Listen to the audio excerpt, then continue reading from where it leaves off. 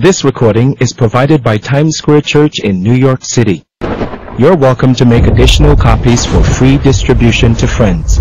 All other unauthorized duplication or electronic transmission is a violation of copyright and other applicable laws. This recording cannot be posted on any website. However, written permission to link to the Times Square Church homepage may be requested by emailing info at timessquarechurch.org. Other recordings are available by calling 1-800-488-0854 or by writing to Times Square Church Tape Ministry, 1657 Broadway, New York, New York, 10019. Bless the word as I, I preach your heart. In Jesus' name, amen. My, te- my text, my message I'm calling today, the ultimate test of faith. The ultimate test of faith. In Exodus, you have the story of the children of Israel. Children of Israel, the scripture said, walked through dry ground in the midst of the sea. Wind came, God, they said just the breath of his nostrils, I think that's in Psalm. God just, through the breath of his nostrils, blew the wind and the seas piled up. They, the waters literally congealed on both sides and they marched through this wall of water on dry ground over crossed the other side. They began to dance and sing. The scripture says they shouted, The Lord is our strength. He's a man of war, great in excellence. Lord, who is like unto you? You've done wonders, guiding us. You will bring us into the land now. Lord, you will reign forever. That's quite a testimony. They've seen a miracle and God has brought them out. Now, God always brings you out to bring you in. There's a divine purpose in Him bringing you. There's a reason why He saved you. It's a reason why you're here this morning. They shouted just like we do. We've seen a great miracle. You've seen a great miracle in your life when the Lord saved you. When the Holy Spirit came and dealt with you about your sins and about what He could do in changing your home and your life. They danced, the scripture says, but three days later, they were thirsty, there was no water. And the Bible says they began to complain. We found no water. What should we drink? They chided Moses, saying, Our fathers, and, and Psalms 106 says, Our fathers understood not the wonders in Egypt. They remembered not the multitude of your blessings and mercies. But they provoked him at the sea, and it says, even at the Red Sea. You know what the, it's like the Bible's saying, can you believe this? Can you believe a people who have just seen one of the greatest miracles ever seen by mankind? And they just dance and sing and praise the Lord. Three days later, in a, in a test of faith, they fail. And, and they, they are saying, in, in essence, where is our God? Is God with us or isn't He? Beginning to question the very presence of God after this miracle. And they provoked Him at the sea, even the Red Sea. When I read that, I said, Lord, how many of us have been delivered? How many of us have been brought to a test of faith? And that's what it was. It was simple test of faith. That tree was there. God knew what He was going to do. God had an answer. He had a plan. In spite of their continual murmuring, the Lord gave them manna because they began to say, We have no bread. He poured manna from heaven. They said, We want meat. He gave them quails quails came three feet high just a mile from the camp. All around them, God just, just swirled a wind in and brought all of this. And the Bible said they ate it till it came out their nostrils.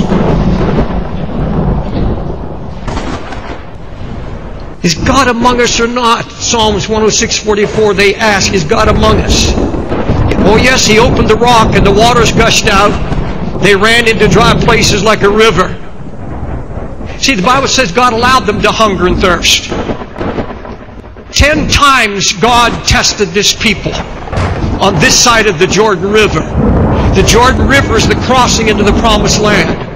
And ten times God said, You provoked me.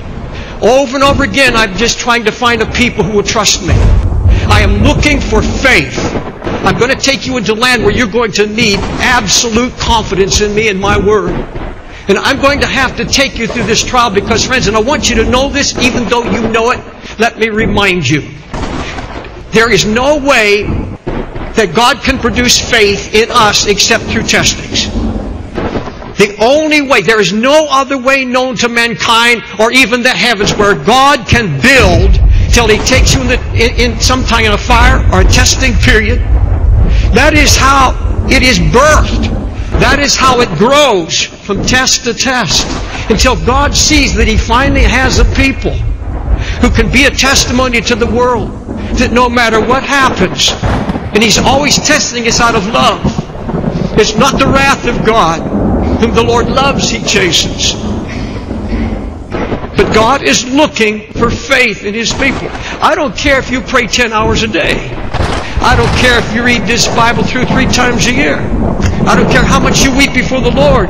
If you don't have faith in your time of trial, if you don't have faith and you begin to uh, fret and worry and murmur and complain and the world looks at you, you've lost your testimony. You've lost your purpose of being. You've lost the very reason why God called you and changed you. We come, they come then to a place called Kadesh. This side of the river Jordan. And that right across they can see the promised land, the place of rest. And there, over the hills, is Jericho, one of the great walled cities. And, and, because they, they wanted to know what was going to happen over there, they sent 12 spies. Now, I know the Bible says in one scripture, at the command of the Lord, but this, God commanded because He knew they wouldn't go in unless they had their spies. Because God really wanted them to just trust His word. He'd already promised them that no enemy could stand against them. He had already promised them, I'll be with you. I'll send hornets to fight the enemy. No weapon formed against you shall prevail against you. I am going to take your battles in my hands and I'm going to take your warfare into my hands. Go, go into the promised land. You know the story. They sent 12 spies, spent 40 days in Jericho. I mean, in, in the promised land. And they brought back the fruits of the land, loaded with all the fruits and the blessing. And 10 of the spies, remember, bring this evil report. They say, yes, it's everything God said it was. It's a wonderful place. It's like heaven. But forget it. Because there are giants there and there are cities walled up to the heavens. Now, if you want to talk about exaggeration of the devil and his lies, up to heaven? And, those giants, we're like grasshoppers. They're ready to squash us. We are not strong enough. We are not able. We cannot go up. They bring this evil report into the land. God knew that they didn't have faith. Yes, it is a good land, but we are not able, it says. And all the congregation lifted up their voice and cried, and they wept all night. See them in their tents wringing their hands. What do we do now? Has that ever happened in your life recently? After test